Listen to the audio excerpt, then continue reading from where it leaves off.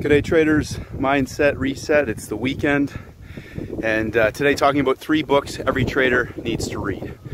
Now you're not going to maybe read all three, but definitely want to get Peter Brandt's book, uh, 21 Days of Commodity Trading. I think it's 21 Days.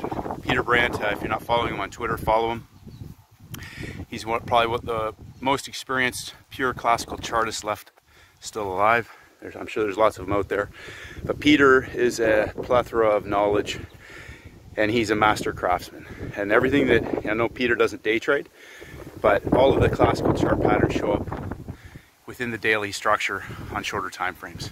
And then applying the timings, the highs and the lows of the day, and the geometrical patterns, there are opportunities everywhere as you are starting to see. The other two books are Schabacker and Edwards and Magee, which were two of the original classic charting textbooks on how to trade. Now I know there's a lot of gurus out there who put their name on stuff and you know they put fancy names on patterns in the charts and they have their you know mentorship groups and everything else. Save your money, read the books, but understand that classical charting is is a tactical approach, but it's your perception and your innateness to uh, master your own personal domain in terms of your emotions, your mindset, your belief systems, and everything that will empower you to be able to execute those charting patterns. So you can read as many books as you want. Now, a great question the other day, what do I read?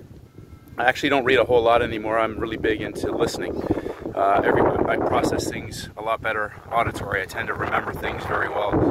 All through university, I recorded all of my lectures. I used to listen to them repeatedly. I, took, I hardly took any notes, although I do journal, and journaling is a very powerful tool.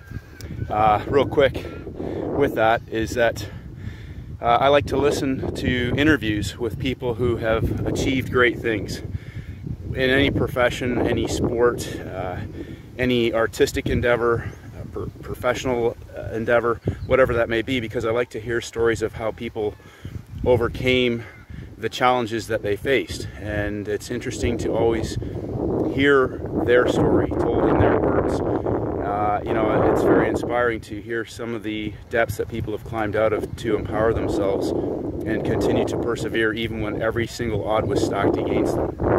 Uh, just real quick in closing, I love this story about Eddie Van Halen.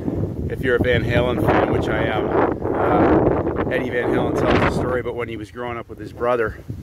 He couldn't afford foot pedals, and he used to watch Jimmy Page on stage, you know, waving his arm up while he was pumping the pedal and making these sounds with his guitar.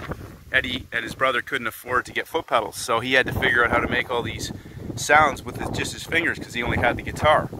And so, point being is that you will learn things from different people. You'll pick things up from books, from your own time and uh, sitting at the screen.